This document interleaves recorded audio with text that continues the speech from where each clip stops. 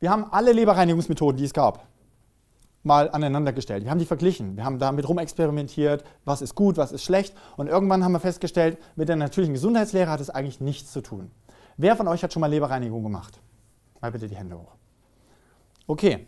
Ähm, wer hat schon mal ein Buch gelesen über Leberreinigung? Das Moritz-Buch zum Beispiel. Die wundersame Leberreinigung. Ist ein tolles Buch. Ich kann es jedem empfehlen. Ich sage, jeder, der mal Leberreinigung macht, sollte dieses Buch lesen. Einfach, damit er verstanden hat, worum es da geht bei der ganzen Sache. Wie das mit den Emotionen aussieht und mit unseren Gefühlen, warum die Organe eben auch mit unseren Emotionskörper, mit unseren Seelenkörper zu tun haben. Und warum eben Ausstrahlung, das Wort Ausstrahlung, ich strahle etwas aus, in der Kommunikation mit Menschen wichtig ist. Ich meine, wenn mir einer auf der Straße begegnet, hm, gelb unterlaufene Augen, ja, geschwollenes endokrines System, dicke Lymphe ne, und so weiter. Sieht man ja im Gesicht schon mit der Anliegsdiagnostik. Wie soll ich ihn den herzlich umarmen und sagen, hey, wie geht's denn dir? Das traue ich mir gar nicht, den zu fragen. Und wenn ich ihn frage, sagt er trotzdem noch ja. Mir geht's gut. Hat mich angelogen. Ne? Also das stelle ich heute fest. Die Leute sehen so aus, wie sie das, was sie im Supermarkt in ihrem Wagen haben, aussieht. Ja? Aber es ist normal. Wieso? Schmeckt doch gut. Ja? Das sind zwei Gehirnzellen, die sich für den Geschmack entscheiden. Und die sagen, ja, schmeckt doch aber gut. Und, und in diesem Trott leben sehr viele Menschen, wie der Frosch im Kochtopf. Kennt ihr diese Geschichte? Der Frosch im Kochtopf. Ne?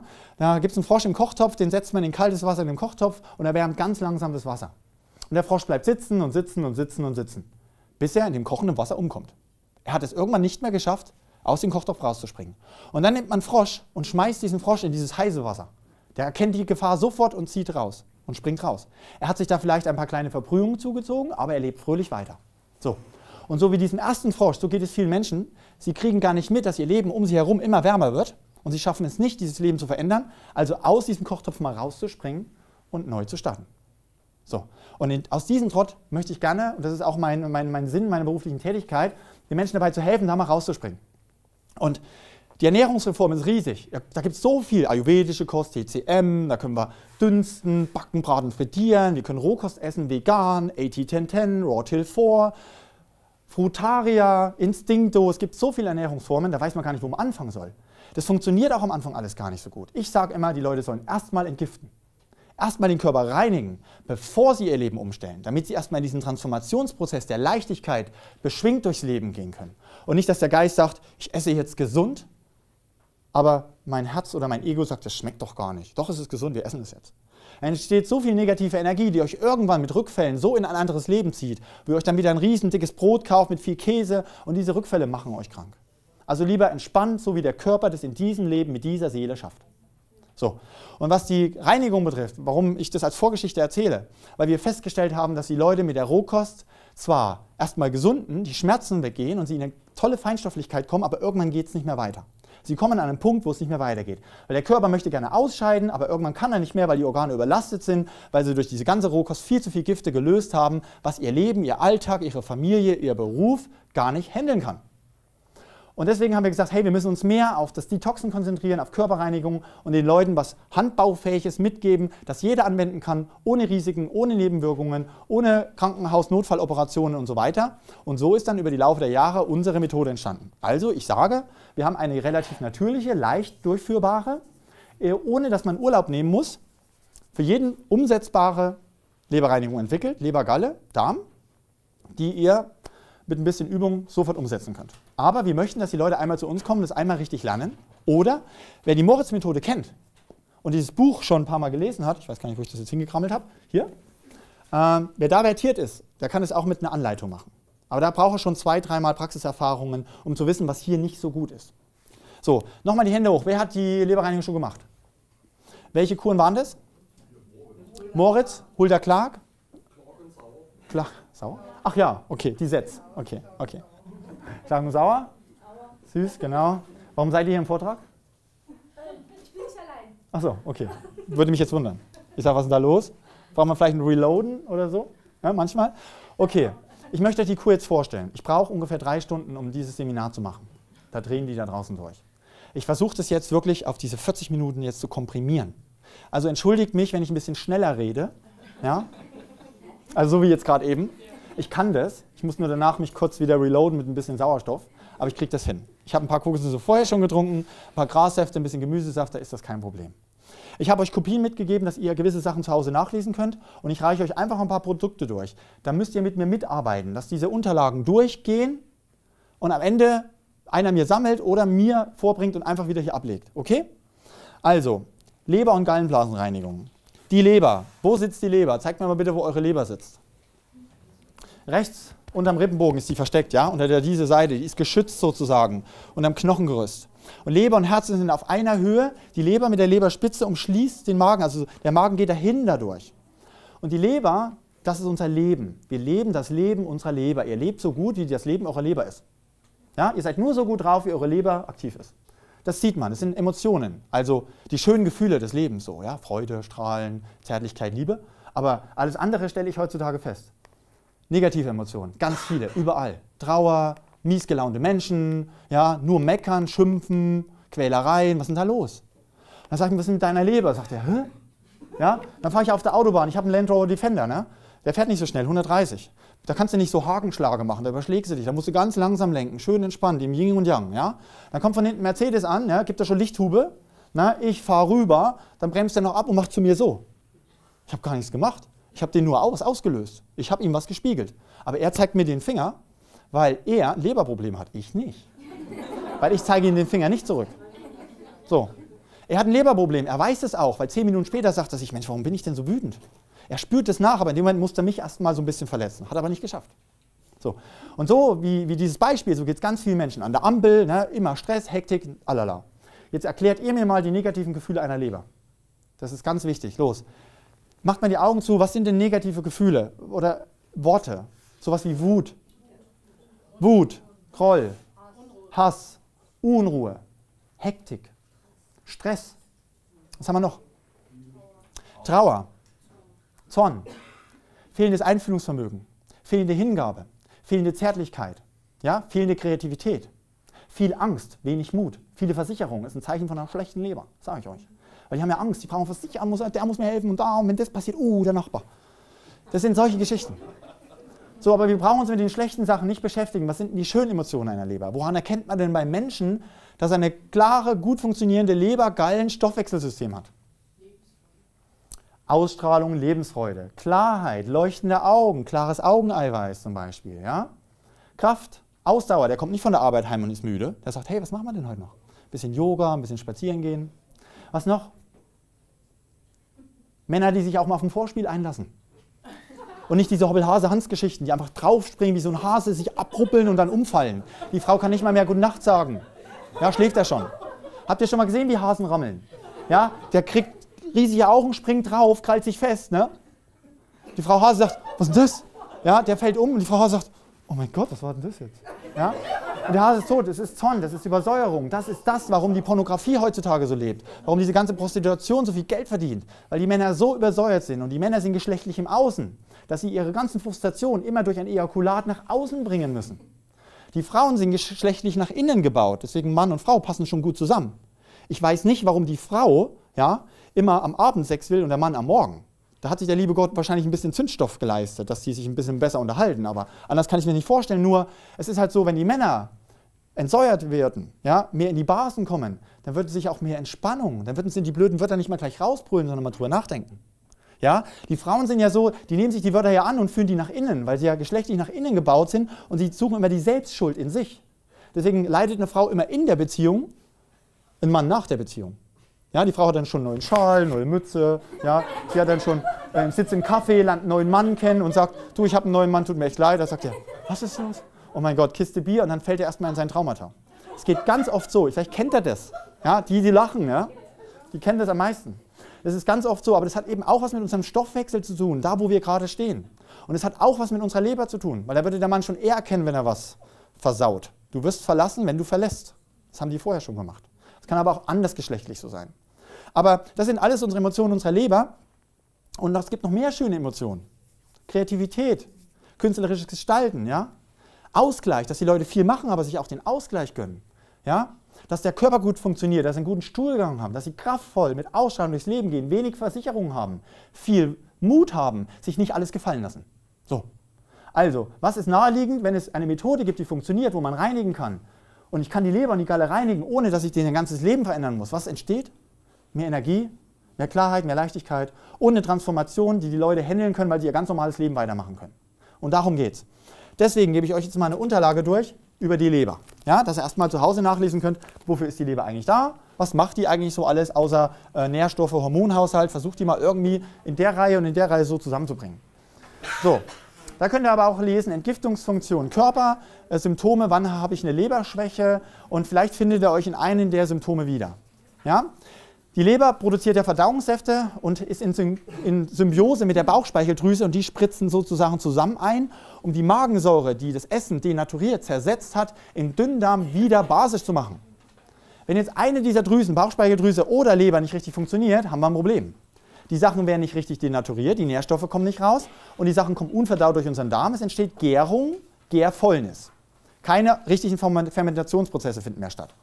So, wenn ich die Leber reinige und es entsteht mehr Leichtigkeit, dann ist es eigentlich ein guter Prozess, wo wir sagen, hey, die Drüsen funktionieren wieder, weil die Leber ist ein Riesenorgan und sie ist eine Drüse. Ja? Und diese ganzen Drüsen sind für unsere Entwicklung da. Und Leber und Galle, sagt man, ist Holzelement. Also, wenn ich jetzt ein Kreiskörper bin, müsst ihr euch vorstellen, hier in der Mitte steht das Wort Ich, dann ist Leber Galle, Holzelement, Magen Milz ist Erdeelement und dann gibt es noch Wasser und Metall, aber das brauchen wir jetzt nicht. So, Holzelement ist unsere Kraft. Holzelement ist unsere Feststellung, unsere Entscheidung und in die Abgrenzung zu gehen.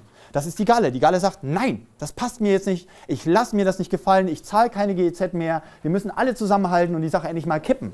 Wir wollen wieder einen Volksentscheid und wir wollen nicht mehr, dass die Frau Merkel keine Volksbefragung macht, sondern wir wollen, dass sie über uns entscheidet, wenn wir entschieden haben. Also eine dritte Wahlurne und wir treffen in Zukunft die Wahlen, so wie in der Schweiz.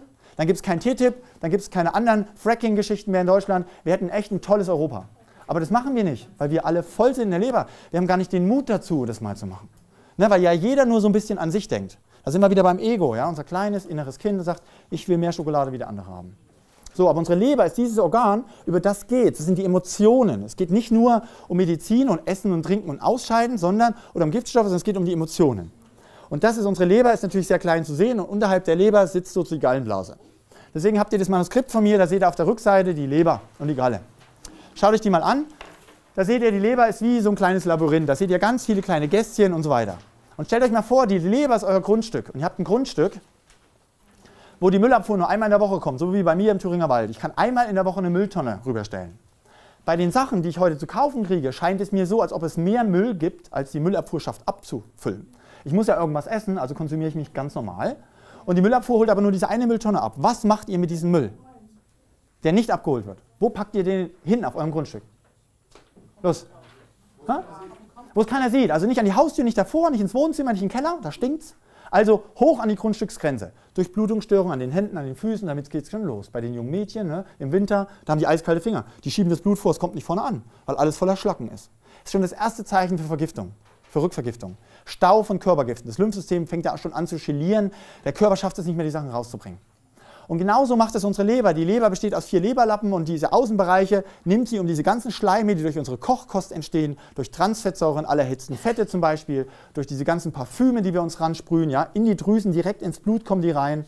Dieser ganzen Rasierschaum von den Männern, Gillette lässt grüßen. Die Männer haben hier ein ganz feines Drüsengewebe. Das ist innerhalb von 200 Sekunden ist dieser Schaum im Blut und wird da vom Körper natürlich sofort rausgezogen. Das gerinnt in der Leber, das wird fest, das chiliert sozusagen und die, der Körper hat keine Möglichkeit, es abzulagern. Er muss es irgendwo in die Galle oder in die Leber bringen. Und so verfetten wir, so verkleben wir. Die Allesesser, die essen wenigstens alles, da sagt man, die essen normal. Dann gibt es den Vegetarier, der lässt plötzlich das Fleisch weg, isst aber viel mehr Milchprodukte, der verschleimt ja noch mehr. Plötzlich wird er vegan, dann lässt er plötzlich noch die Milchprodukte weg. Was ist da denn mehr? Mehr Brot, Brötchen, Backwaren, Kuchen, Nudeln, Reis, Stärkeprodukte und viele süße Früchte. Und dann kommen noch die Nüsse dazu und die Trockenfrüchte. Das heißt, der isst ja nur noch Kohlenhydrate. Der überzuckert ja total weil alles Fructose, Glucose, Methylalkohol in der Leber sozusagen zu einer fetten Leber wird. Das Ding wird hart, groß und verschleimt. So, dann wird er Rohköstler, jetzt isst er nur noch süße Früchte plötzlich und Nüsse, um sich zu befriedigen, damit er nicht mehr an das Brot denken muss. Ja, und dann kippt alles um. Dann wird er spitz, grau, äh, Nierenbäckchen schwellen an, rote Flecken überall im Gesicht und das nennt sich dann Gesundheit. Ihr habt die Möglichkeit auf der Messe zu gucken. Ihr findet viele Rohköstler. Viele sehen gesund aus, aber viele nicht so. Ja? Da sagt er sich, wenn das Gesundheit ist, dann will ich das nicht machen. Das kann ich verstehen. Keiner hat den Rohköstlern gelernt, es geht ums Gemüse, es geht um die Mineralien, nicht um die Vitamine. Vitamine haben wir genug, aber keine Mineralien. So. Und das ist schon das erste Problem bei der Moritz-Methode. Ein paar Leute kennen die, ein paar Leute nicht. Da gibt es eine Methode, die dauert so sieben Tage. Da wird Bittersalz genommen, um den Darm leer zu machen. Da leitet man die Leberreinigung ein mit äh, Olivenöl und Grapefruitsaft. Das wird halt gemischt. Ne? Damit bringt man die Leber und die Galle zum Ausspülen der Sachen und so weiter. Und wir haben da dran rumgebaut, bis das Ding gepasst hat. Das erste Problem von den Kuren überhaupt, alle Leberreinigungen betrifft es, man kann keine Flaschensäfte trinken. Ja, der Moritz sagt, die Apfelsäure ist wichtig, wir brauchen die, um die Gallengänge zu weiten, aufzuweichen. Und weil ja in den Äpfeln auch sehr viel Kalzium drin ist und Magnesium und das braucht man ja sowieso, weil das alles schön dehnbar macht und man kann auch Apfelessig nehmen und so weiter, sage ich, nee, kann man nicht. Es geht nur, wenn man frische Säfte nimmt. Frisch gepresste. Flaschensäfte sind ja nicht roh. Die sind auf 150 Grad erhitzt. Da ist kein Mineral mehr drin. Also Mineralien vielleicht, aber keine Vitamine. Ja, nicht alle Mineralien tun sich bei der Hitze verändern. Aber die meisten Proteine gerinnen eben über 100 Grad. Und der Granny Smith, das ist der saure Zahnarztapfel, den nehmen wir für die Leberreinigung, weil diese Säure die einzige ist, die es schafft, das so zu weichen. Bioqualität oder im Edeka gibt es auch den Granny Smith zu kaufen von der Firma San Luca, der ist auch nicht gespritzt, der hat auch keine Wachsschicht außen dran. Oder von der Firma Südtirol. Ja, weil die Meter kriege ich auch nicht in den Seminaren in Haselbach. Wir brauchen ja Tonnen an Äpfel, die wir da mal auspressen. So, deswegen mal kurz angesprochen. Also ein Apfel ist sauer. Der wird basisch verstoffwechselt. Wenn der Apfel jetzt erhitzt wird, dann bleibt er sauer in der Verstoffwechslung, hat pH 4. Unser Blut hat pH 7, also 6,365. Nee, 7,365 hat unser pH-Wert unseres Blutes und es muss immer so sein. Wenn ich jetzt pH 4 in den Körper ballere, literweise, was passiert? Wo nimmt sich der Körper die Basen her, um die zu neutralisieren? Haut, Haare, Nägel, Knochen, Zähne, Bindegewebe, Faszien, Muskeln. Ihr werdet steif und immer steifer. Bei der Vorbeuge kommt dann irgendwann nicht mehr runter. Ne, wenn dann knackt es hinten. Ja, das sind alles so Degenerationserscheinungen im 21. Jahrhundert. Nehmt es mir nicht übel. Ich bin da mal so ein bisschen überschwänglich. Verletzt euch bitte nicht durch meine Worte, ähm, falls einer nicht runterkommt. Okay. ähm, so, das heißt, der Körper muss jetzt 4, 5, 6, 7, er muss 3 pH-Stufen hoch. Das sind 10, 100, es sind 1000 Mal mehr Mineralien, die gelöst werden müssen, damit der Apfel verdaut werden kann. Und das raubt euch die Kraft. Die sollte in der Leberreinigung mit Flaschensäften vorher alles schön geweicht werden. Deswegen nehmen wir frische Säfte und die Säfte schmecken gut. Die sehen nicht nur gut aus, die haben nicht nur eine tolle Farbe, wie zum Beispiel der. Seht ihr diesen weißen Rand hier unten? Wisst ihr, was das ist? Massen an Magnesium und Calcium. Das ist genau das, was wir für die Leberreinigung brauchen. Und diese Mineralien setzen sich nach unten etwas ab. Die mischt man dann durch. So, wir machen die Säfte also als 70% Granny Smith, frisch gepresst mit einer Rohkostmaschine, langsam ausgepresst und das gehört dazu. Ich muss euch das sagen, wenn ihr Leberreinigung nach Moritz macht und macht die frischen Säfte nicht, ihr geht mineralarm aus dieser Leberreinigung raus. Wenn ihr die Sachen wiederholt, kriegt ihr immer mehr dunkle Augenringe, immer geschwolleneres Lymphsystem, das endokrine System schwillt immer mehr an, irgendwann kommen die Darmfalten dazu, ja, die Stressfalten entstehen, weil die Leber einfach nicht die Stoffe hat, die sie braucht, die Kraft sozusagen und die Sache geht nach hinten los. Ihr habt zwar gereinigt, die funktioniert auch, die ist gar nicht so schlecht, die Kur von Moritz, aber ihr werdet längerfristig davon degenerieren und krank werden obwohl die Leberreinigung von Moritz euch erstmal in die Gesundheit getragen hat. Weil ihr vielleicht dadurch Schleime losgeworden seid, die Entzündungsherde zurückgehen und der Körper in einem bestimmten anderen Bereich in Selbstheilungsprozesse geht, werdet ihr die Mineraldichte aus euren Knochen, aus euren Sehnen, aus euren Faszien und aus der Haut verlieren. Ihr werdet alt. Und das wollen wir nicht machen. Wir wollen nach der Leberreinigung strahlen, wir wollen leuchten, wir wollen fit sein. Da müssen wir was von Energie merken. Die Augen, das Augeneiweiß soll wieder heller werden, dass die Leute sagen, ey, was hast denn du gemacht? Am Freitag sahst du ganz anders aus. Und jetzt? Ja, ich habe eine Reinigung gemacht. Wie eine Reinigung? Gibt's doch nicht. Gucke doch ins Internet. Die Ärzte erzählen, es gibt keine Giftstoffe. Ich habe jede Menge Giftstoffe zu Hause. Ich habe die Klos immer voll. Wenn wir die ausscheiden, ich weiß immer gar nicht hin mit dem Sondermüll. Ja, Tüten voll hauen die Leute die Sachen raus. Ich hatte ein 23-jähriges Mädchen, die hat ein halbes Kilo ausgeschieden in der Leberreinigungsnacht. Das war bis jetzt Tagessieger. Ja, da gibt es manchmal so einen Tagessieger. Aber wir machen eben frische Säfte. Und da haben wir gesagt, 70% Granny Smith und der Rest kann eine Wurzelgemüse sein, was ihr findet. Aber denkt bitte an die Mineralien. Fenchel, sehr gut. Zucchini, bombastisch, enthält ganz viele Mineralien. Die Gurke macht die Sache frisch und leicht. Wir haben die Möhre. Für was ist die Möhre da? Man braucht nur hier reingucken. Ja, die Möhre zeigt euch das schon, dass sie gut ist für die Augen. Da weiß man schon, ohne studiert zu haben, dass da viel Vitamin A drin ist, weil Vitamin A ist gut für die Augen, das zeigt euch die. So, Pastinake, Petersilienwurzel. Wofür ist die gut? Auch fürs Auge. Super. Was haben wir denn noch? Süßkartoffel gibt Stärke, gibt Kraft, die kann man roh essen, die muss man nicht tot kochen. Jedes Mal. Ne? Frisch mit in den Saft reingepresst. Da ist zwar keine Flüssigkeit drin, aber der Saft von den Äpfeln Stück für Stück presst doch die Mineralien hier mit raus. Und damit erhöhen wir diese Dichte. Rote Beete zum Beispiel. Mega nährstoffreich, aber eigentlich die Knolle ist gar nicht so wertvoll, weil man hat herausgefunden, dass das Grün, die Stängel und die Blätter viel wertvoller sind. Man hat mal verglichen die Knolle und das Grün der roten Beete. Bei 100 Gramm jeweils. Wie viele Nährstoffe stecken da drin? Und hat man bei der Knolle geguckt, Vitamin, nehmen wir mal A, haben wir gerade dabei. A ist nicht nur für die Augen gut, sondern A ist für das. Ah. Ah. Die sieht aber gut aus, auch die gefällt mir. Auch die ist frisch, die ist knackig, ja. Nicht nur schöne Haare, schöne Haut, schöne Nägel, sondern Jugendlichkeit, ja. Alterungsgeschichten. Vitamin A, ganz wichtig, hält euch auf Trab. Und da sind bei 100 Gramm nur ein Wert von 33 drin. Aber in den Grünen, ich habe es nicht dabei heute, unsere im Garten, die sind noch nicht so weit, das Grün hat einen Wert von 3626. Beim Calcium hat die einen Wert von 70 und das Grün hat einen Wert von 625. Wisst ihr, wie viel weniger ihr von dem Grün braucht, an Säften zu trinken, um die gleichen Nährstoffe zu haben, die hier nicht mehr drin sind, die aber früher mal drin waren? Weil einfach die Felder leergeräubert sind. Ihr kriegt nicht genug Nährstoffe ran. Ihr könnt nicht sagen, ich esse jetzt einen Apfel, esse eine Gurke und eine Tomate und habe meine Nährstoffe. Das funktioniert nicht. Ihr müsst mehr essen davon. Das schafft aber eure Verdauung nicht, weil die Faser euch hindert. Also trennen wir die Faser vom Saft in der Leberreinigung, kolloidale Mineralien. Ich habe zehnmal mehr Mineralien bei null Verdauungsenergie und die können in mir arbeiten und ich kann meinen Beruf machen. Ich merke also von dieser Leberreinigung nicht so viel am Anfang. Was könnt ihr noch nehmen? Stangensellerie zum Beispiel. Der ist gut für den Kopf. Ja? Wer sich nichts mehr merken kann, sich alles aufschreiben muss, wer das nie schaffen würde, so schnell zu reden, ja? Stangensellerie. Der ist gut für den Kopf. Oder Rohmilchbutter. Aber das ist halt nichts für die Veganer. Was nehmen wir noch? Topinambur. Ist sehr gut, sehr stärkebringend. Und Ingwer eben zum Entkeimen oder zum Haltbarmachen. Und wir nehmen frischen Kurkuma. Kennt ihr frischen Kurkuma? Ja, manche nicht. Hier, bitte mal greifen. Mal durchgehen lassen. Riecht mal bitte daran, dass ihr die Energie spüren könnt. So, ich komme gleich wieder ins Bild. Dass ihr mal die Energie spüren könnt von frischen Kurkuma. So.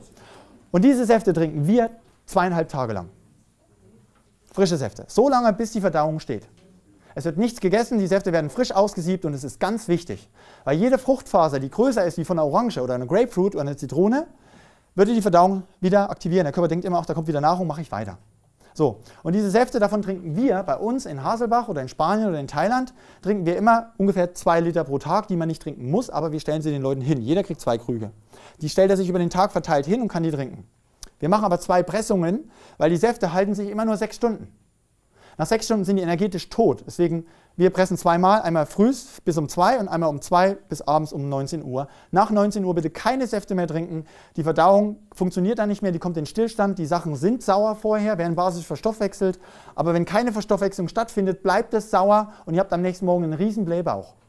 Also trinkt die 2 Liter, wenn ihr es schafft, wenn nicht weniger, trinkt aber mindestens 2 Liter Wasser dazu. Saft und Wasser muss ich die Waage geben. Wenn ihr keine 4 Liter am Tag schafft, dann trinkt nur 1 Liter Saft, aber trinkt dafür 2 Liter Wasser. Ja? Die Mineralien von den Säften, die binden die Gifte.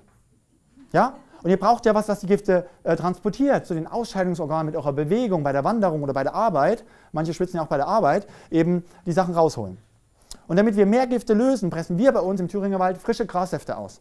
Jeden Morgen, manchmal auch mittags, so kleine Detox-Shoots hier in dieser Größe aus frisch gepresstem Dinkel, Gersten, Weizengras oder die Wildkräuter, die jetzt bei uns wieder anfangen zu wachsen. Vogelmiere, Bärwurz ist die bestentgiftendste Leberpflanze.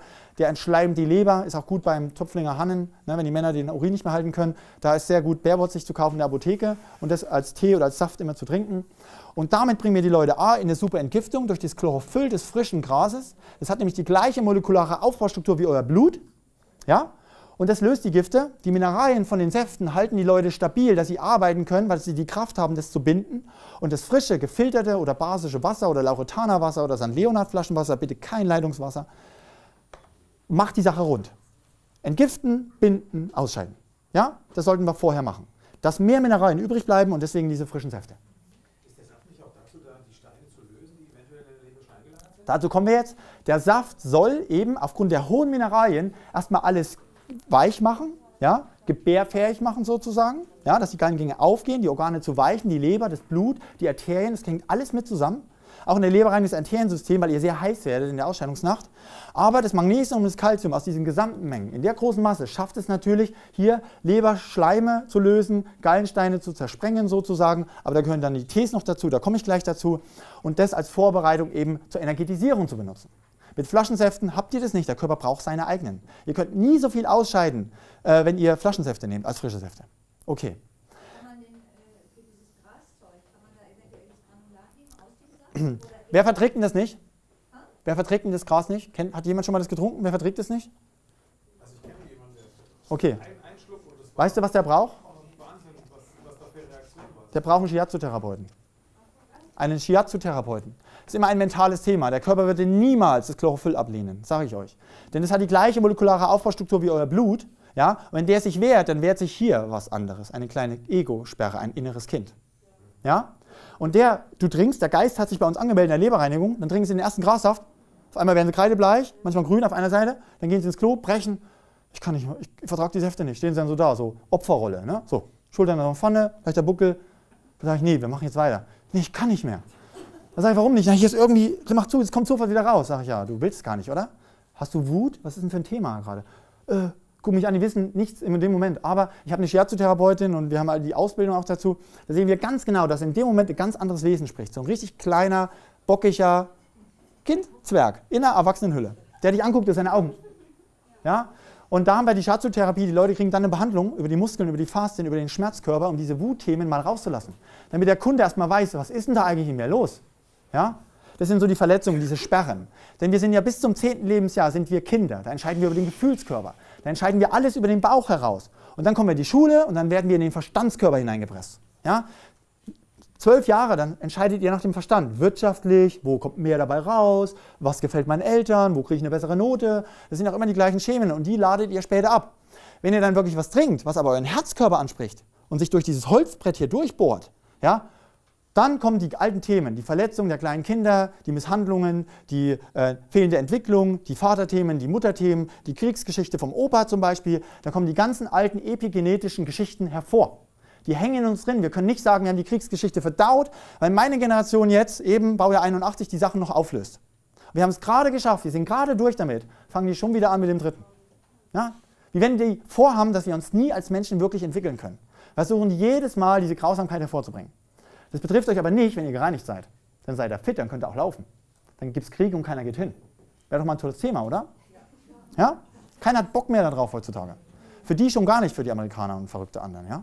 Aber es ist so, wenn ihr fit seid, dann findet ihr mehr Lösungen in den Problemen. Und darum geht es. Wir brauchen schnelle Lösungen und nicht nur immer jammern. Ja? Wie komme ich an den Grassaft?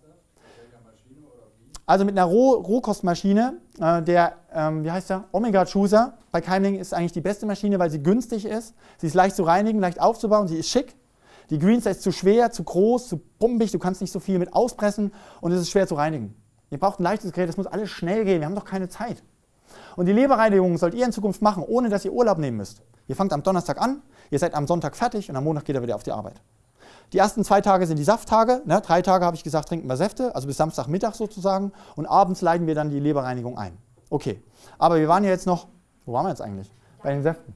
Darf ich noch mal ganz kurz fragen, wegen dem ersten, äh, wegen dem Weizenbrand, Ja. wegen den Grassäften. Kann man da, meine Frage war, ob man da eventuell auch das Getrocknete nimmt. Es gibt doch so getrocknete Ja und nein. Also guck her, wir pressen die Sachen aus, wir trennen den Saft von der Faser, weil ich kann es nicht verdauen. Ich bin keine Kuh, ich bin kein Pferd, ich habe keine Mehrfachmägen. Ich brauche den Saft sozusagen, das Chlorophyll. Und ich brauche ich brauche das alles hier, um so, nee, nee, so ein kleines Glas hier, so ein kleines Glas hier auszupressen. Ja, brauche ich das. So. Also, das heißt, die Faser ist ungeeignet, in der Leberreinigung sowieso. Nee, aber es gibt doch auch den Saft getrocknet. Es gibt das Saftgraspulver und das kannst du nehmen, weil wenn zum Beispiel jemand auf diese Grassäfte frisch reagiert, dann kann er das Pulver nehmen, da reagiert er nämlich nicht drauf, weil ein Teil der Schwingungsenergie weg ist. Ja, die kristalline Struktur ist nicht mehr ganz so schön, deswegen reagiert unser Ego nicht so sehr drauf. Was ihr aber auch nehmen könnt, sind zum Beispiel die Heidelberger Kräuter. Kennt ihr die?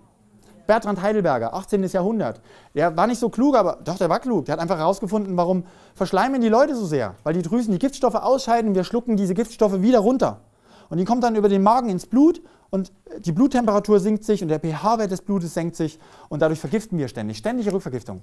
Und diese Heidelberger Kräuter, die wachsen in jedem Garten. Anis, Kümmel, Fenchel, Wermut, Schafgarbe, Bibernelle, Wacholter, binden diese Gifte.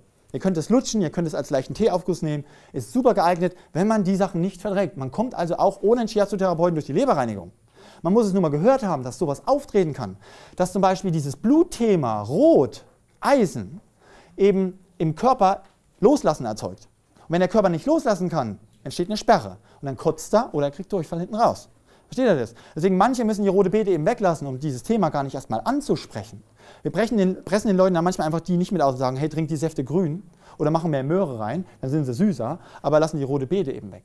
Ja? Vergewaltigungen zum Beispiel ne? zeigen sich immer in Reaktion mit rote Beete. Misshandlungen als Kinder zum Beispiel. Jungs, die beschnitten wurden ne, in der Kirche, ne, diese Opfergaben zum Beispiel, ne, wo die Vorhaut abgeschnitten wird. Zeigt sich durch rote Beete zum Beispiel. Da ein Themen ausgelöst. Und jede Frucht zeigt euch ja welches Organ. Die Tomate zum Beispiel, Herz. Die ist das Herzgut. Ja, die, äh, für, äh, die Maracuja zum Beispiel fürs Gehirn. Sehr viel Vitamin C, ist doch schon klar. Da brauchen wir nur mal durchschneiden. Das sieht aus wie Gehirn, ja, das ist gut fürs Gehirn. Da sind die Nährstoffe drin, die unser Gehirn braucht. Also das mal angesprochen, wir haben leider die Zeit nicht, ich kann nicht aufs Chlorophyll größer eingehen. Okay, die Säfte drei Tage trinken, Donnerstag zwei Liter, Freitag zwei Liter und Samstag bis Mittag. Früh und abends an den ganzen Tagen trinkt ihr immer diese.